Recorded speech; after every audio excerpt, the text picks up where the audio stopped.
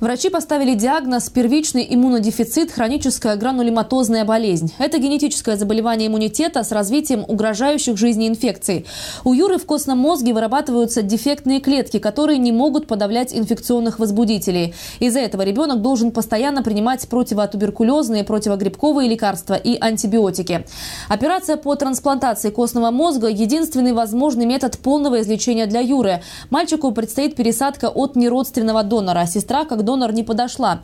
И начинается она с поиска в Мировом банке доноров. В израильской клинике Хадаса родители получили счет на первичное обследование и поиск донора – 23 300 долларов или 1 миллион 72 тысячи рублей. И это не считая билетов, проживания, питания и оплаты посредников. Если врачу понадобятся дополнительные проверки, они должны будут оплачиваться отдельно.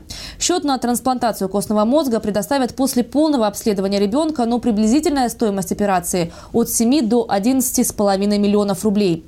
Сюда входит подготовительный период, трансплантация и три месяца реабилитации. Семья Юры будет благодарна за любую поддержку, потому что сейчас остро в ней нуждается.